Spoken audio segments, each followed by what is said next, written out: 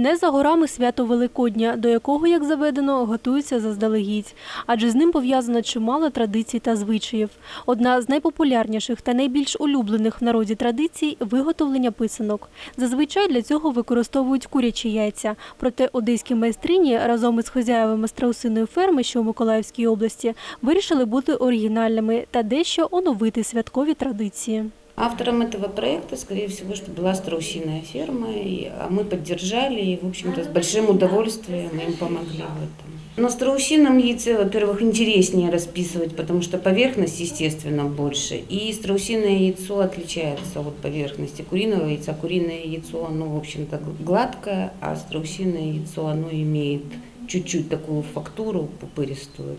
Но с страусином яйце, конечно, намного интереснее, чем на курином. Но и куриное яйцо, в общем-то, вот на, на, сложно, наверное, разбить так, чтобы получилось яйцо целое. А страусиное яйцо, как вы видите.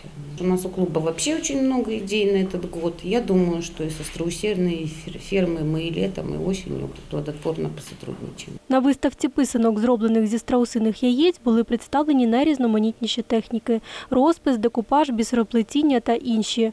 Перлиною ж експозиції можна назвати писанку, в оздобленні якої використовувались навіть сапфіри. Началось это еще год назад, когда я побывала на страусиной ферме на экскурсии. Э, Мне безумно понравилось, но до этого я как бы э, занималась, опле- оплетала э, бисером обычные яйца, заготовки, то есть обычных размеров. Но когда я увидела страусины, конечно, во мне взыграл такой азарт.